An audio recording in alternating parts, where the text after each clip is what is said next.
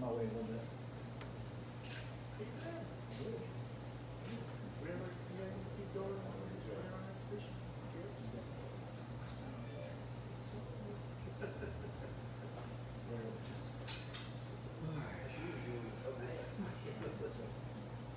It's,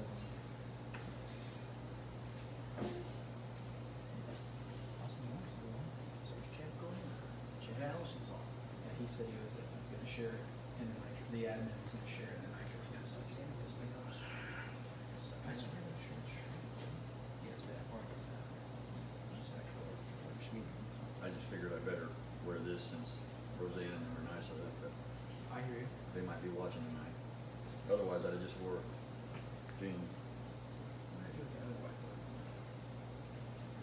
Yeah, so can I take that whiteboard and erase it, or can I use, No, we can erase that. when I get done right at the end, we're Yeah, ready? I got that wet rag over there.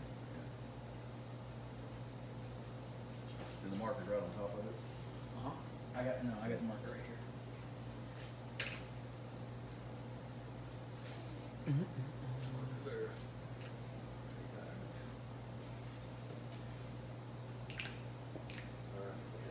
read the 10 we're going.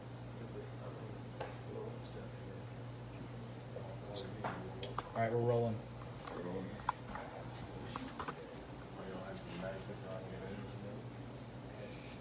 I'm ready, I'm gonna, I'm gonna log myself in. Oh, you're gonna log when you yourself in. introduce it. All right. Well, hey guys, it's that time again. It's That's Good Fish Live Monday night down at Bud's Bait. Uh, tonight we have a really special guest, the legend John Bennett's here. Um, he's going to talk to us about you know how he got started fishing, and then he's going to talk to us and get real in depth with square bill cranking. Um, before we get started, just a couple things. Number one, if you have a question, just make sure you put it on there. Uh, Peyton's got the camera tonight, so he's going to ask your questions to us. Um, the second thing, when you're done with this, before you put your phone up and go to bed, sign out of Facebook, head over to YouTube. That's Good Fish, and just hit the subscribe button. We're putting out a ton of videos this year. We've got a lot, new, a lot more new stuff coming out, but we really have to get our subscribers up if we want to take the next step and get you guys more information and more videos. So head over to YouTube as soon as you're done. takes two minutes. Subscribe, and then one more time after that, head to Instagram, shoot us a, a follow because we do post everything to Instagram as well. So um, just a reminder, you guys can come down here on Monday nights. Uh, we've got chairs set up. We've got a few people here. Old Jeff Rose is here tonight.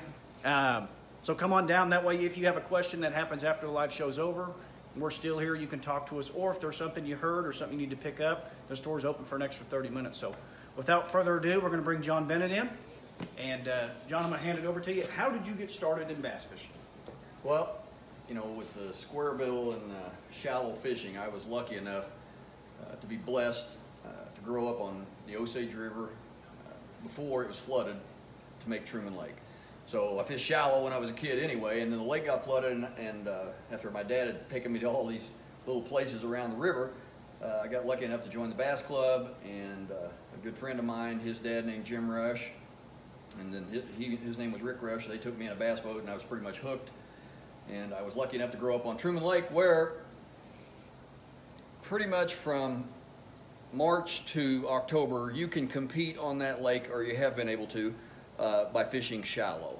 Uh, I think it's the, you know, right in the area, it's premier shallow water lake now. And lately, in the last few years, there's been more deep water fish, and in the summer, it becomes more difficult to maybe compete shallow. But you fish shallow. So that is conducive to being able to use a square bill. Uh, when the lake was young, lakes age, so when Stockton was very young in the 1970s, uh, a lot of timber, it's green timber. The square bill is not really that big of a factor because the, the uh, limbs are small, green, and the square bill doesn't come through it that good. And then as, you, as the lake ages, say five to six, eight years, all you get left is the big limbs and the big laydowns and the stumps. That's when the square bill starts uh, really excelling. And so, therefore, the square bill comes into play at that time. So in the late 80s, the square bill at Truman probably became came into play more than it had. Early on, Fierce for You, spinnerbait, worm, and a jig. Uh, the square bill comes into play, and I just happened to be growing up then, and uh, Daryl Reach, who's my uh, fishing partner for years, uh, we kind of like to fish the same way. We like to cover water and shallow water, and the square bill became a tactic to add to the arsenal to pick off some extra fish. And so that's how I learned to, to really do that. And I was just blessed to grow up in a lake where that was really a big part of it, and you could compete uh, shallow like that. Now, a lot of other lakes now, like as they've aged, Stockton's aged, and there's not as much uh, cover there. The square bill excels on hard targets, I think. Sure. Rock, uh, stumps, laydowns, and, and even docks. Uh, but Truman and even Stockton early on had a lot of timber, but as it dies off, the targets get less and less, and they're, the square bill is target oriented. So, in other words, targets are very important. And but as the targets get diminished, then the square bill does come into play, but it's harder for you just to put that on and fish it all day long. Right. But when you see specific targets, it can come into play to pick off an extra fish or two. And so it becomes important. And I was lucky enough to grow up in an area where that was an important part of our arsenal when we started fishing. Now you've been tournament fishing for how many years? I don't know. Uh, put about 1981, 1980. So Not good at math, but I took a few years hiatus where I didn't fish quite as much because I was teaching him how to play basketball. That was you stupid. should have fished. And uh, Should have fished. but then back in uh, you know I fished maybe once a month or so there. Well, we, well I was coaching him playing basketball, but then. Um, after he, you know, got into high school and you can't really fix them then, Right. you kind of have to. You can't. You say, okay, well, I'm gonna go back to fishing. so then Daryl and I started fishing a lot more seriously again. Then. Now, if you guys remember last year, and, and John said Daryl Reach, Daryl was on our show last year talking about spinner baits. So we had one of the best spinner bait fishermen in, in the United the states of Missouri, you know, talking about spinner baits. And then tonight, again, we, we, we get lucky with John because he's probably one of the best crankbait fishermen. Um, so you talked about where you grew up, Truman, that's where you like to fish. What kind of square bills do you throw? I mean, do you throw plastic? Do you throw First, wood? How about a shout out to Rick Clunn? There's Yeah. hope for guys like me. That's true. 72 year old. Hey, maybe we can still catch fish. I don't know. But anyway, that was kind of cool yesterday, right? For you guys that don't know, Rick won the Bassmaster Elite Series yesterday on the St. Johns River.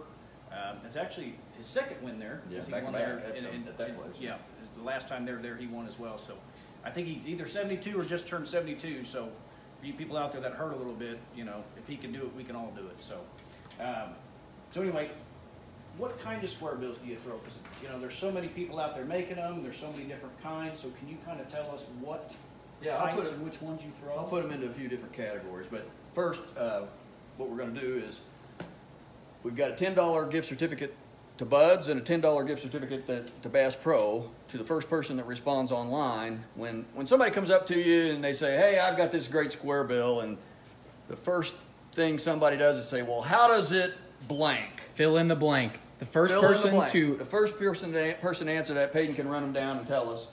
Uh, in the meantime, I'll talk about square bills. I think there's there's really two types: balsa and plastic. Uh, I like balsa around wood. Uh, plastic will get it done, but I like balsa because it's a little more buoyant, so you can bowstring it off when you get it hung up, uh, which is a technique where you We- pull your line. we have a winner. Okay, you have a so. All right. So the answer is, the answer is, somebody always says, how does that crankbait wobble? Wobble. Okay, that's the thing. Well, here's the thing. There's, wobble is different. And uh, when you see a crankbait, and here's an old B3, there's two kinds of wobble. There's one in the uh, x-axis, and that's the way the most of the old ones do it. If you look at the old, uh, here's an old Balsa B2 with a brass tie, okay? And a lot of times the big O's, when they were originally out, they came and they wobble, but they wobble in the y-axis or the x-axis. And they come in, they'll shake your rod really good. But here's the thing: there's another wobble, and that's in the x-axis, okay? And I call that kind of a tumble. And uh, so, if I, the reason that's important is I'm going to use an example here is, is a mirror and uh, and a flashlight. And if if a bass is feeding, he's almost always feeding up, okay? If if I shine a light on this flashlight and it's above where you're at, and above where the fish is at, and that wobbles back and forth, he doesn't see the flash. He doesn't see the flash. If it wobbles down like this, he, sees the flash. Off, on, off, on, off, on. Okay? That is a frequency. Like we think of sound and frequencies. Oh, different vibration level. You know, Daryl likes to talk about the different blades for the different vibrations, right? Well, this is a frequency. Light's in frequency. And so what you want, it, what I like, is I like a crankbait that tumbles as well. And it when it comes in the water, it wants to do some of that, not this, okay? So how does that happen? Well, the crankbaits that I like are uh, in the in the balsa series and even in the the plastic is these KVDs work pretty good. You can buy those here at Bud's, yeah, by the way. Yeah, they got them here at Bud's. The KVDs really tumble pretty well too. Uh, but you'll see a couple of things. I like the tie, the line tie down on the bill. Now, uh, I like the old Balsa B2s. This is an old Balsa B2 that's been repainted. And this is what is known as an Ed Chambers 2. I've used it a little bit. How much are these going for these days? Well, at last I saw they were somewhere over fifty dollars, depending on the color. There was one that Austin showed me last night for one hundred seventy-five. Ed Chambers passed away, no longer makes the baits, so they've become really a, a, a hard thing to acquire, and uh, so the price has gone up on them. Now they're really a good bait. Right out of the box, they they tumble really good. They they wobble, and the way I always test that is if you I got a pond and you throw it pond, they'll come wobbling through. And if you got a good good speed to it and you stop it, a good one when it's when when you stop it, it'll turn 90 degrees. It'll just boom, just like that. And uh, Austin will ask me. He's given me a whole you know plethora of baits to try, and uh, I'll always tell him whether they wobble really good or whether they don't. And uh, so the old balsa B2s in this, the thing about balsa B2s is they are they're they're hard to get because every era was different and none of them are like even in the same era. So I could show you one. Uh, this is a very old one. And you can just tell between these two. These are the same era, tied down on the bill, but look at the butt of it. Okay, one of them's fat, one of them's much thinner. Okay, the, the, in my mind, the thinner the tail, the better on the old B2s. The reason that is is uh, if you want the side to side, uh, the tumble wobble, then here's here's what you need is you you want that tie to be down there, and uh, if you think about it, if you pull it down like that, it's going to tend the butt's going to tend to go up. Okay, the smaller the butt, the less buoyant it is. It's going to be more level. Okay, so now when you get the tumble, it's more a a bass sees it from here rather than he's looking at it like this. He sees it side to side. I don't know about you, but I've never seen a shad hardly go through the water like that. right? They usually go like this, right? So that's important. Now the other thing they do, because it's not just where the line tie is. You could get the line tie. The old line ties were up, uh, you know, like I showed you on the nose with that one with the brass, and so it tended to to go in the uh, the x-axis. Uh, but this, uh, if you'll notice, the real good bosses, when they start tumbling well, they have they have lead in the lead in the hook hanger. Okay, so what what does that do? From a physics standpoint, that that keeps that's going to keep this belly of the bait in a stationary mode while the top rocks. Okay, so that's how they get that rock a lot. Now, I don't know, I, I don't design the base, I'm just guessing from a physics standpoint, that's how they do it. But then now, now you get that tumble because that's being held and now you're pulling it and it's, it's going like that and it's off on, off on, off on.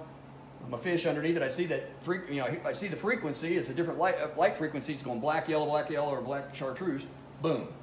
I might get a couple more bites. And really, in today's fishing, as you know, let's say, uh, you know, let's say one with a tie like this and you like it, most people, they'll catch just as many fish. I, I believe that, you know, these catch fish, these catch fish, whether the tie's there or, or you know, whether you've got an old big O or whatever. But when you get done with the day anymore, you may get eight bites with one, but you might get another bite or two with a bait you believe in, Sure. or that maybe tumbles a little different, right? Yeah. Well, at the end of the day, you say, man, I had a great day. I, caught, I had eight bites. But somebody else might say, well, I had nine or ten bites. Now, they don't know because you- it's not apples to apples right there where you see it. But I believe it gets you an extra bite or two, which may be the difference between getting a check or not getting a check. And uh, so you got to have confidence in it. And then I think that gives you every opportunity to do that because the bass, well, square bills are traditionally really shallow. Right. Now, is there, a- obviously, the, the WCs you can still get, but they're expensive, right? Right. Is there something they make nowadays that, you know, does that? Uh, that- so I, I mentioned the plastic. Uh, these are KVDs, and then the KVD one and a halfs are really good too. The, the thing about the one and a halfs is uh, you can get some big hooks on them, and uh, for their size. Uh, so Austin I've been experimenting a little bit. These black label balsas, Okay, I think they're Cliff Pace baits. Uh, and Austin got some, and we tried them, and I will tell you that uh, they're pretty good. Uh, when I stopped it, it almost turned more than 90 degrees. It, it really wobbled. I really like the wobble on it. Uh, this is a little B1 size, and uh, so it. Uh, I, I haven't tried the B2 size, but I think you know it's really going to be a good bait, and I think they're what you can buy them for 16, 18 Yeah. bucks. I mean, they're, they're pretty But cheap for a bowl. My guess is if you really just threw the KVDs, you'd probably catch just, just about as many fish. Yeah. So the difference between, so I go back to these E2s, which are really good baits because they really wobbled side to side against the B3s. Now, the difference between these two, if you look at them, I don't know, Peyton's got the camera here. See the bill on that EC2? It's just a little bit longer. So now I replace the bills in these B2s when they break. I've got some extra bills. But the EC bait goes just a little deeper. So uh, you may not think that's matter. Oh, okay, well, it's only going three foot versus two and a half or three, three and a half or whatever. That makes a little bit of difference if the fish just don't want to come very far out of the cover.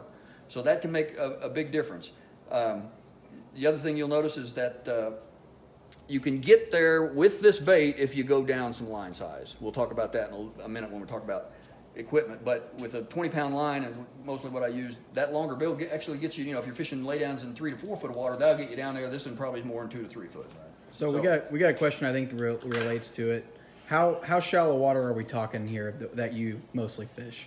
I mean, when you're throwing a square bill, what are your what is your kind of go to? With these traditional square bills, and I know they got some that'll go a little deeper. You're not, you're really not targeting anything deeper than five feet. I don't think, not hardly ever. Six Now- feet's considered now, deep. uh, Now you could be, uh, you could be fishing like post spawn. Those fish will move out into the. If you got timber, they'll move out into the timber in deeper water, but they're not going to be very deep in the water column. So they'll be down you know, three, four foot sitting in tops of trees if you still got a bunch of limbs that you can see. Now, uh, you know, when the lake was, when lakes were younger, you had a lot more of that, but as they die off, you don't have as much timber out off the bank. But they will move, move post spawn, might be four or five foot deep out in that stuff, right? But they won't, uh, they, they might be in 15 foot of water then, but for the most part, you're fishing five foot deep. and Daryl, by the way, Daryl's the one who guessed wobble. So, Yeah. Yeah, I should guess that. All right. uh, which black label is that? Uh, he said, is it plastic bill or a circuit board bill? Circuit board. This one's particularly circuit board. I think Austin brought another one that, uh, yeah, is a traditional plastic here. And you can see both those, same, same thing, the line tie is right down where the bill meets the whatever, and uh, they're, they're pretty solid baits. Uh, I can't say that I've fished them in a tournament yet, but we've been kind of looking for something that, you know, I just, I'm not going to pay whatever these are going for, 50, so I'm just not going to pay that for. Daryl, those those crankbaits don't have a blade on them either. so, um, Yeah, so You can put one on the back. So the other the other difference between uh, some of these baits you got to be careful with, like the B2s. The nice thing about the old B2s is the hook hangers. And if you can just look at this, the hook hangers are just a little bit further apart. If you look, I'll put it the same way. So belly to belly, and then look at the back. Okay, it's a little. well. What does that mean? That means that I can usually get two of the number two extra wide gaps on there on a tube. Now, you can't do that with the EC2s. They're going to hook up. Well, uh, uh, in, in my mind, a bigger hook's always better, especially when you're fishing in shallow water. So uh, that is a little bit of an advantage for these. These go just a little deeper because they got that bigger hook, and uh, but this will this will hang a, a little longer number two on it, and this uh, this one usually you have to go a number four and a number two. Now, if I go uh, if I go with the number four to number two, I always go with the longer shank hook on the back. Okay, why would that be?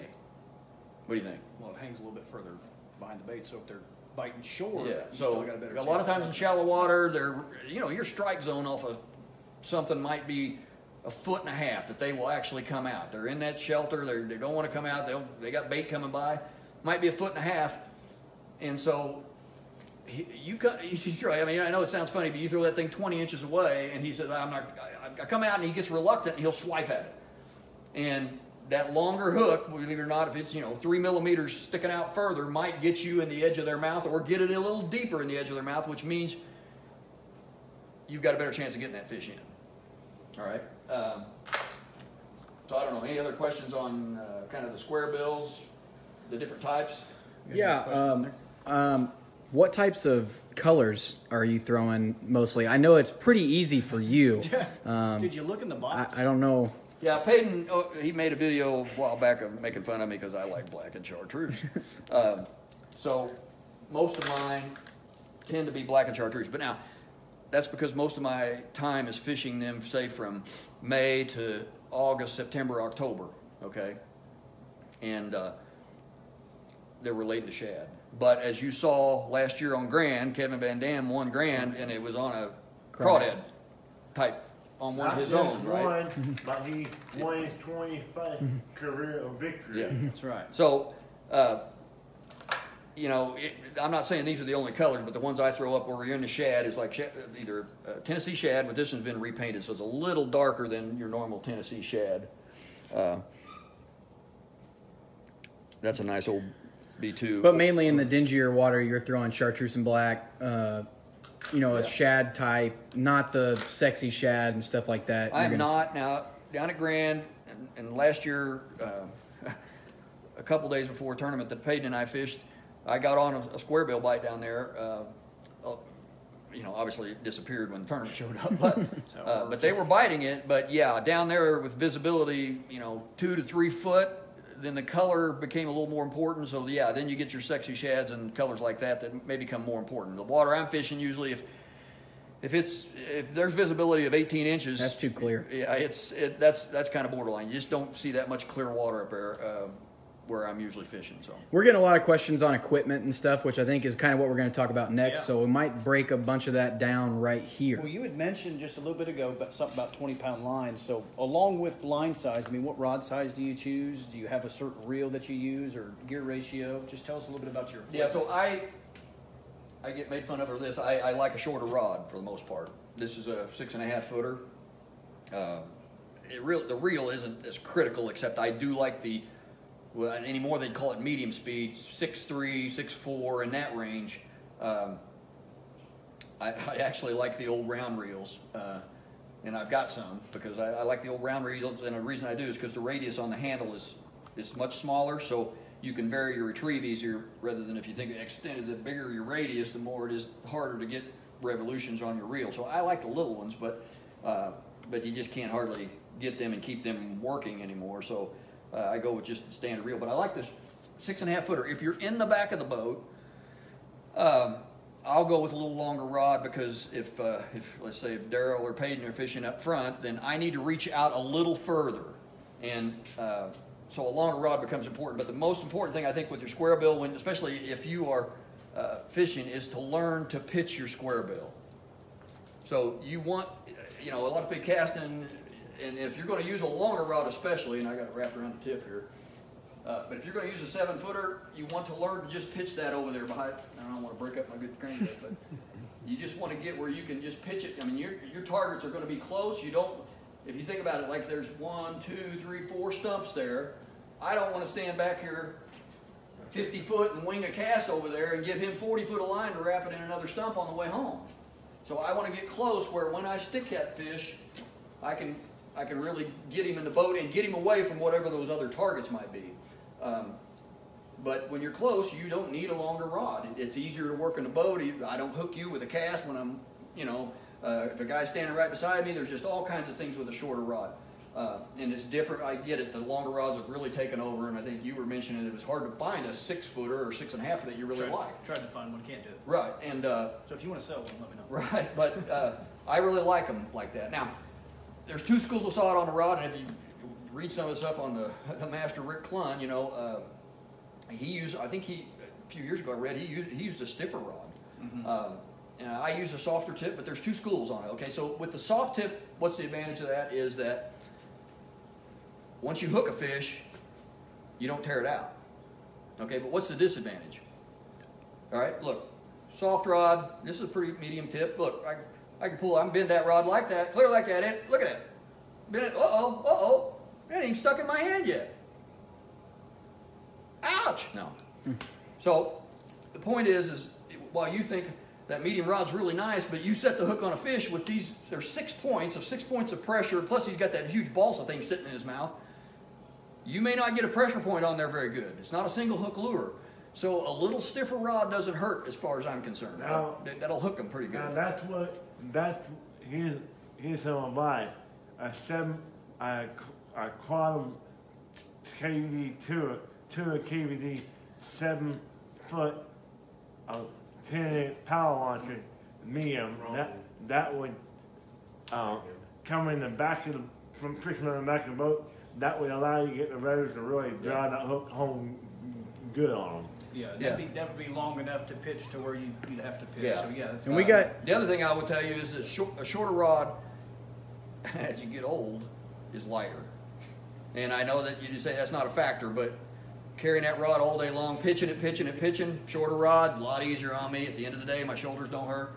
Um, and I'm using close targets anyway, so I, I really like the shorter rod. So, real quick, you talked about gear ratio on your reel. Joe Reynolds, um, first off, he was the second person to say wobble, so I'm going to go ahead and give the gift cards to him instead of Daryl because Uh, Daryl yeah. said he's going to give his gift cards away because he fishes with you. So I'm going to go ahead and give it to Joe Reynolds. So Well, Joe Daryl- Reynolds, Daryl watches me fish a lot. yeah, we'll we'll hook up with you, Joe, and you'll get those two gift cards. He was asking why not a five one to one or a five three to one gear ratio. You said what'd you say six three six four Yeah. to one. Uh, so why not why not a five to one? Again, in the old round reels, with their, I think they're the old Ambassadeurs are five four or five six to one. Okay, and I, I should have brought one. They have a smaller diameter in the, the from handle to handle. Okay, so if you think about it, that's easier to reel faster. So in actual line speed, you can pick up speed pretty fast with that. But the problem with the five fours in square bill fishing is you kind of want that to crack. We'll talk about that when we talk about cover next. But you kind of want it to move pretty good because deflection is a key, and you want it to hit it hard enough that it'll deflect off of it. And if you go too slow, I'm not saying there's not times where slow doesn't matter, but if you go too slow, it doesn't get the reaction bite sometimes. So you want something. I don't want something screaming Right. where it's just you know buzzing because you want to get it down to that de- maximum depth, which sounds funny when it's three feet, but you want to get it down to the maximum depth, and you want to keep it there, but you don't want to reel it too fast where it starts coming up in the water and you you, you reduce the action. So uh, I do use some five forward, but, but a lot of times I will tell you, for me, it's easier to slow down than it is speed up my retrieve. Sure. So if you think about that, it's easier to buy a little faster reel and try to slow down than it is to buy a slower reel and try to speed up. And it depends on, I think everybody's a little different, right? Some people it's easier to speed up or easier, you know, whatever. But for me, it's easier to slow down my retrieve than it is to try to speed it up and go, oh, I need to go like this all day long. Oh my gosh. But it's not hard to say, hey, I'm a little lazy today, I'll go a little slower. That's, for me, that, that works pretty good. So, um, the other thing is, is with, uh, again, line, I almost always use monofilament, 20 pound monofilament. Okay, I know uh, the fluorescent is, you know, becoming a lot more prevalent. I even tried braid, but You mean braid, fluor- fluorocarbon? uh, yeah, fluorocarbon. Sorry, I messed up. Uh, but I even tried the braid, but the braid, does, if you get around wood, braid digs into wood, and your bait is constantly, if a square bill is always digging into the wood, you don't want that braid cutting into the wood and getting hung up all the time. Whereas the the mono kind of bounces off of it, floats it. And the other thing is with mono, okay, it stretches. Everybody says it stretches. Well, if I'm only making a 20 foot cast, there isn't much stretch there, right? So it doesn't really matter. The stretch is not as important. And as it's cheaper. Yeah, well, and, and you can afford to. Save you some money. You can buy, yeah, you can buy a lot of mono, change out your reel every night. Doesn't cost you a buck to change it out, and you got fresh line on.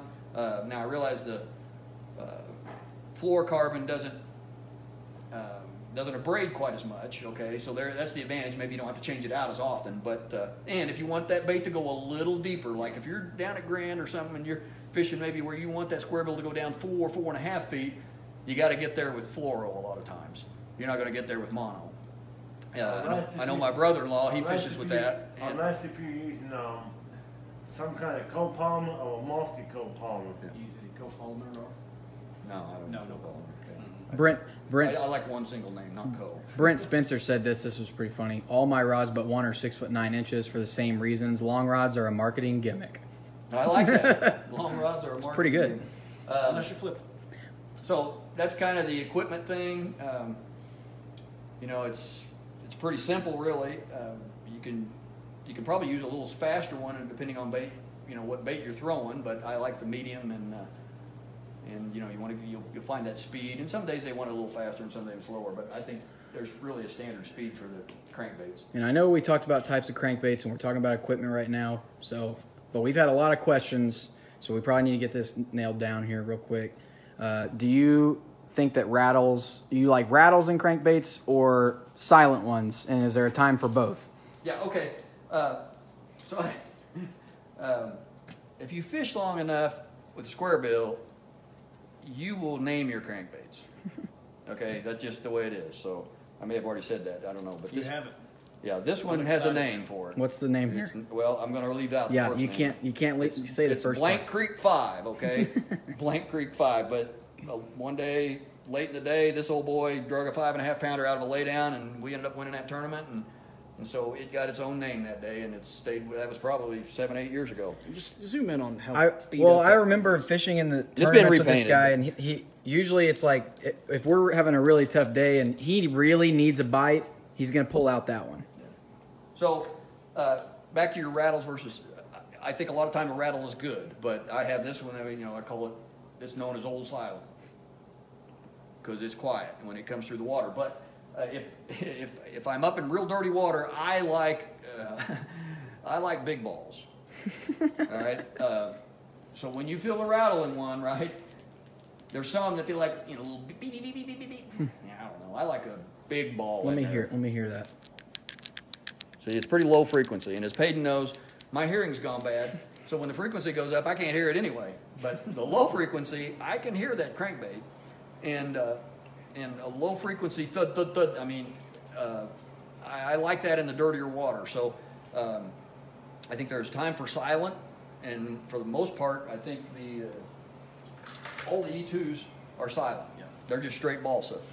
Um, but a lot of the Bagleys have, like that one has a deep, little bit deeper rattle in it.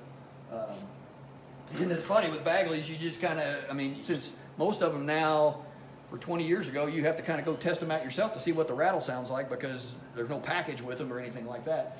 And they're all different, thicker tail, thinner tail, uh, uh, different rattles in them too. So Scott was asking what what brand of line. I'm pretty sure you use what Trilene Big Game most of the time, mono. and- yeah, the big game, uh, big game or the uh, just the Bass Pro Shop. which stuff. they have the Trilene Big Game here at Buds. Yeah. So, um, but yeah, I, I know you don't get too complicated on Well, lines. I believe in a name brand. Yeah. Uh, you know, I believe you get you, you get a name brand, but you can get name brand mono really pretty good. It's pretty good, good quality. The the thing personally I like about mono is I know when it's going to break. Um, I, I, went, I went to fluoro years ago, and there was just times where I, I couldn't predict. I don't know, maybe my knot wasn't quite good enough. Whatever, it just it broke for no reason, and I don't like that. I don't like mono.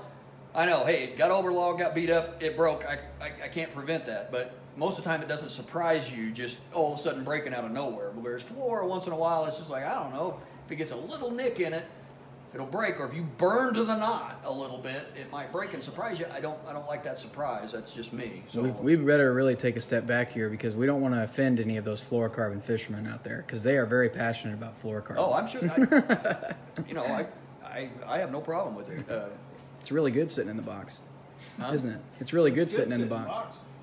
yeah, I. I got I got fluorocarbon. I use fluorocarbon for some other things. I just think Yeah, this- deeper crankbaits, but we're mainly talking about square bills and Right, yeah, So- like I've got 12 and 14 now that I use for deeper crankbaits, and uh, and I've even flipped with uh, fluoro before. But for this, that's what I usually use. Um, I think there's pros and cons, but um, I, I just think the fluoro or the uh, mono works better for me. And everybody has to, like I said, you have to do what you feel confidence in that might pick you off a fish or two that you feel like will happen that day because all of this helps me pick off a fish, and uh, or at least I think it does. And if that's that's what makes you happy, then that's what you got to stick with. Yeah. So is there Right. anything else you want to go into as far as equipment? Or do you want to go ahead and move into what types of cover we're looking at here?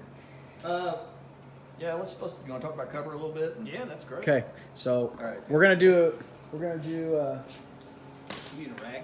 yeah, the rag is over there. Right there, there's a wet one. So we're gonna go ahead and draw this thing up for you guys. Um, Brian Odell asked if you change your hooks out. Yeah, he does change them out for bigger Yeah. hooks most of the time, right? As you can see, Yeah. I keep a.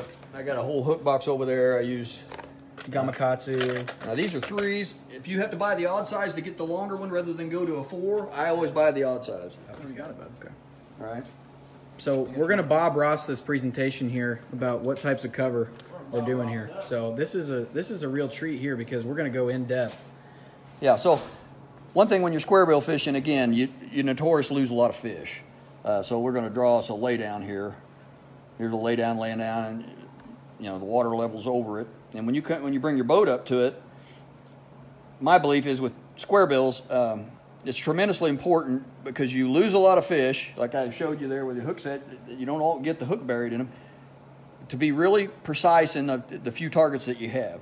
So the first cast to me is not in the kill area necessarily because if there's a fish sitting out here, all right, we'll draw the Christian fish. all right, if there's a fish sitting out on the edge, you want to throw out there.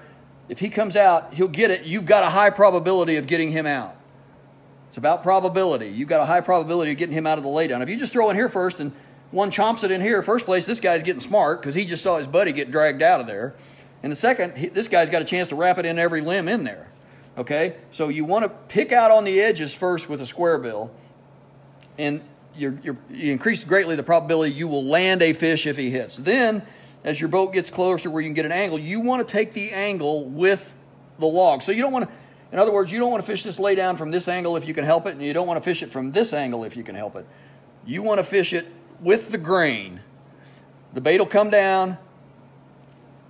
You won't get it hung up as much. It'll maybe hop over a side limb or something. And then when you get him, if you think about it, you can haul him out of there and he'll be parallel with the grain rather than try to haul him through three limbs.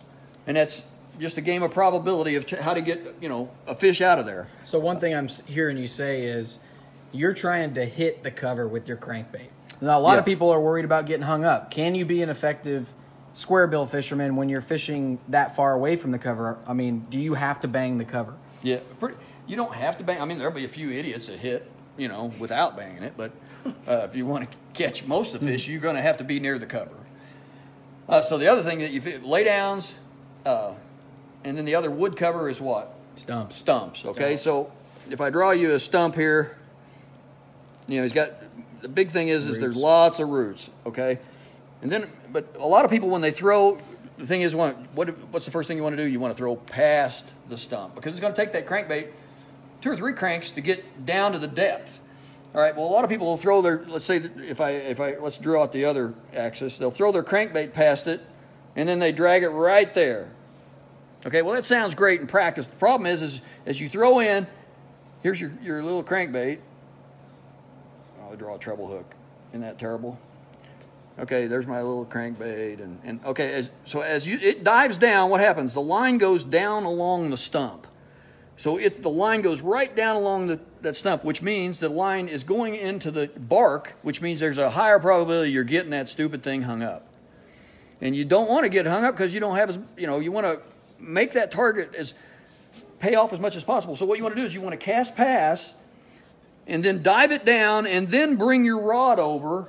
So if, if that, there's a, a stump over there, I want to throw it past and then I want, once I get it down, then I bring my rod over so my line comes over then and then the bait bumps the stump, but my line is already down at its deepest point so it doesn't have to scrape that log all the way down and get that bark and there's a good chance, you know how it is if you got a little sliver of bark, the line gets caught in it and then your bait goes right up there and and you're hung up. And so the hung up part's not hard. I mean, you get it, but if a fish wants to hit it, he's not going to hit it, and you've ruined that particular piece of cover. So uh, the other thing is, is sometimes the high probability of times what you've got when you hook a bait, fish with a bait like this is what happens. He's got it, and that other hook is flopping, flopping around out there, and it comes in contact with a piece of wood, and it hangs that piece of wood, and he goes. So you want to try to keep your line out of the wood because that way, if, if you hook him, and let's say here's the stump, and you hook him here, and your line's hooked in the bark, as you reel him in, it's going to come right up in there, and then that hook, even though he's hooked, it'll hook in there, hook in there, and you'll lose that fish. And you won't get the boat over there fast enough, or he'll tear out. So it's really important to to keep your line out of that bark as much as you can, but you want the bait to hit it. Okay, that's the way you kind of think of it. Is two different things. Line out, bait in, because that bait does need to hit it or bounce off. That really helps quite a bit. Um, so anyway, that's kind of the, the cover. If you're fishing, uh, you know, you're fishing docks. Uh, I won't tell you I'm an expert at, you know, fishing square bills around the docks. I, I do it, but uh, again, if you've got things that you can bounce it off of, that's even better. But a lot of times with docks, those fish will sit out under their You're trying to run it under the dock. yeah, they'll sit under the floats and they'll they'll want to run out. So you kind of use the shade. So it's not you're not maybe bumping it on anything if you don't, but they'll they'll sit in that shade. And so the shade might be two feet away from the float, right? Because the sun angle. So he might be sitting two foot away from it, and you use the shade as the cover, and you run right along that shade line. Uh, and that'll get you a few few bites sometimes too when they get on that pattern. Uh, the current matters a lot on that too, I think, whether they're running water or not. So. I don't know if we have this question, but do you throw balsa around docks? I seldom do that. you can do it, but uh, real rock, rock and docks, I think, are conducive to throwing a lot of plastic. You, you know, you're not bowstringing it off because you're getting hung in wood a lot, and so there's just a lot of things that plastic does fine with it. Uh, and so I use mostly plastic around the docks, but you know, if, if you got some wood and stuff and laydowns, you might want to you want to throw a balsa in there too. I'm never against throwing balsa, but it probably won't be One of those. Creek Five. you know. Yeah. Creek Five. You got any other questions?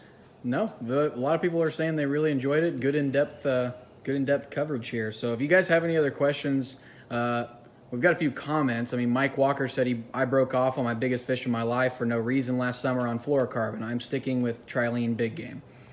So, Yeah, I um, think that to me, uh, and don't get me wrong, most all the pros are throwing fluoro a lot now. I mean, I get it, and I know it's a great line. I'm just like that. It's like it seems like it surprises me once in a while. I don't like surprises.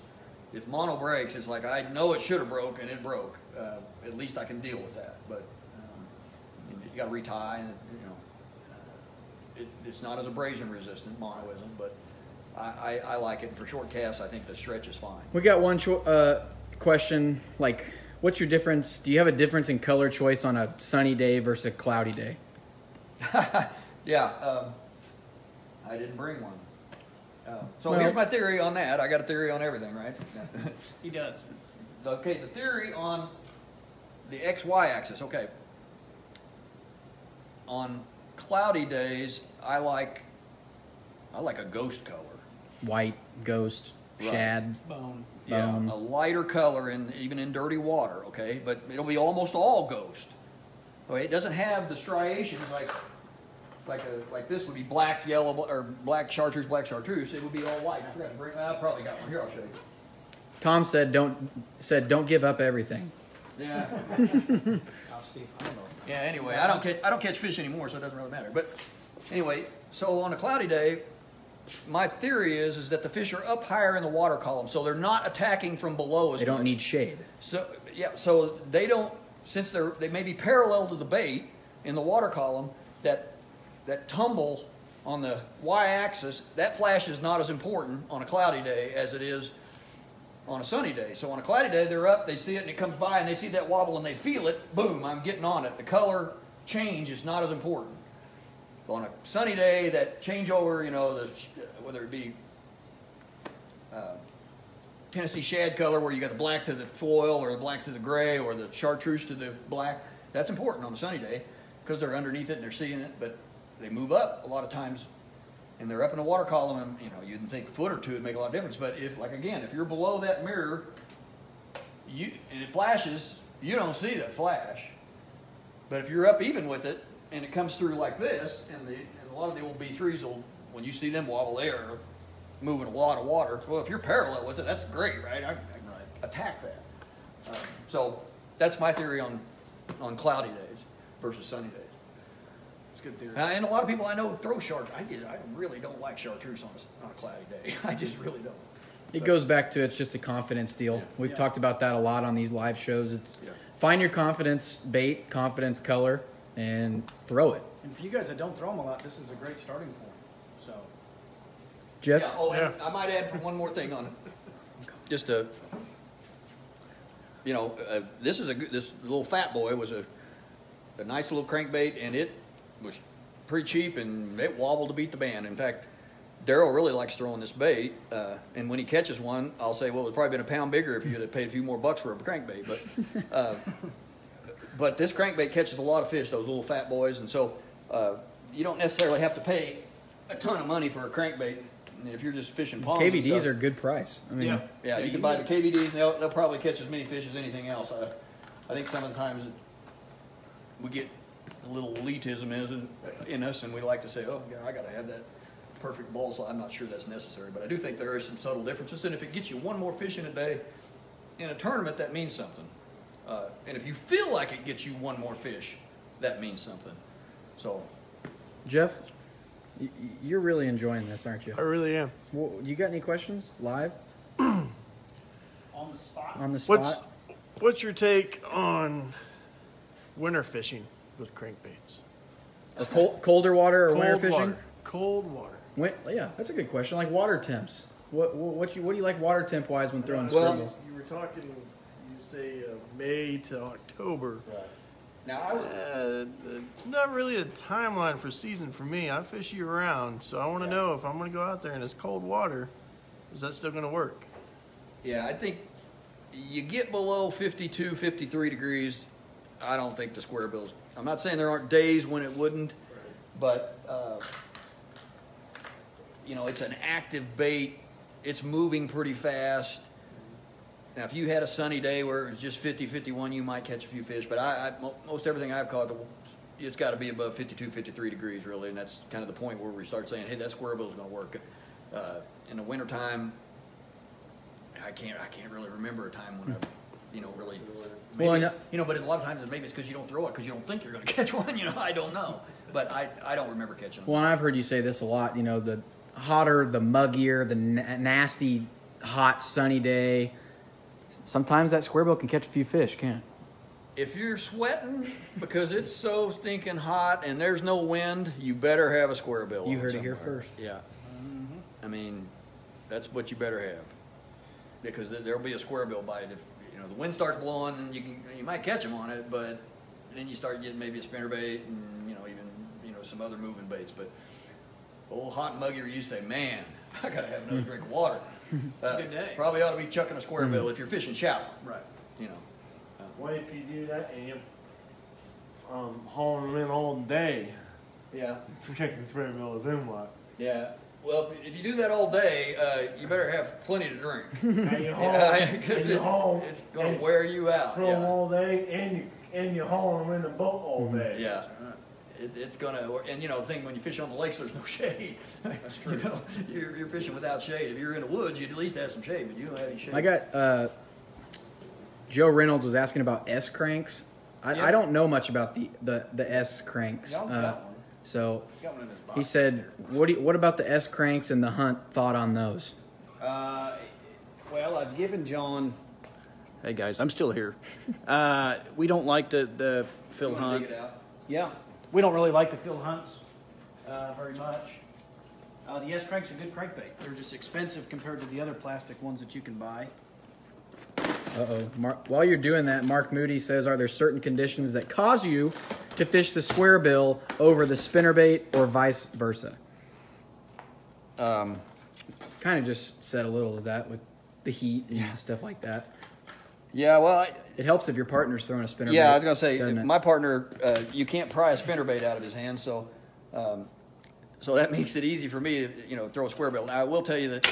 Um, I, you know, throwing a square bill out of the back of the boat is a trick because You don't want to get hung up. yeah, you get hung up. You know, you do get hung up some, and you can bowstring it off or whatever. You know, but so what I usually try to do is say I'm hung. You know, so he doesn't have to keep going down the bank. So maybe I can get it loose before he has to turn around and go get it. Um, but yeah, I would usually rather throw the square bill in the front. You know, in the front of the boat where I can.